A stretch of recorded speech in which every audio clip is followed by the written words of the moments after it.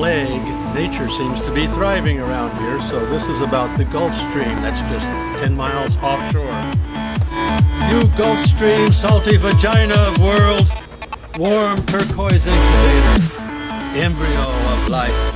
You essence, you Gulf Stream, you great crevasse of ocean depth, spreading easy and shallow over great widths of beach, casting out fear of death.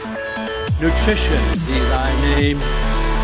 You rainy, steamy life giver, making shoreline more fertile, making plankton and rain in Great Britain. Too much sometimes. Draw the poison out of me. You Gulf Stream meander, journey far in quest of life. Generous in your bequest to life, heal me